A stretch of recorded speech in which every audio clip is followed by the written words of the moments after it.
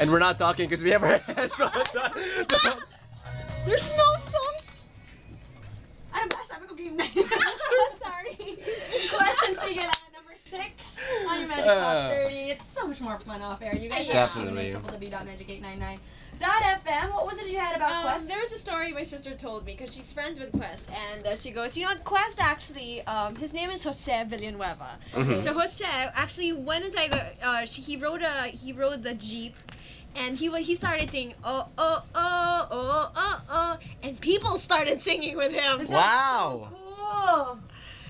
So everybody in the jeep started singing that that that part in the song. I think it's a very popular song. So good job to Quest for making it all the way to the top. Well, all the way to number 6. Actually, And- you made all the way to number 2, I think. Also, because he went to number one in MYX, he's giving out a free concert on uh, in Eastwood in October. That's great. We'll give you guys updates on the exact date. Yeah. Maybe we can ask him ourselves. Saying happy birthday to uh, our household driver Rudy. He's like the best driver ever. It's his Hi, birthday. Rudy. Hello, Rudy. Happy birthday to him. And also hello to Jonathan and Anthony who are also tuned in. We've got a little bit of an update about Taylor Swift coming up in a bit.